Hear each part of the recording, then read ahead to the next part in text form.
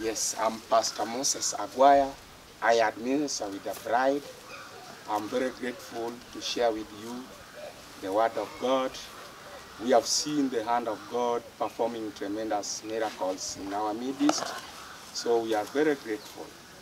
Oh, during the time of uh, droughts, the servant of the Lord who was anointed, Samson, one day when he was walking along the valley, he scooped honey from a dead lion. And when he ate it, that changed his life.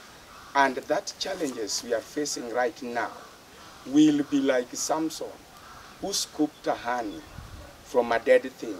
We hope that after heavy drought, God the Mighty, as we read from the book of First Samuel, uh, First Judges uh, 14 verses 9, it indicates that one day when Samson was walking along the valley, he got a dead lion and scooped honey from it.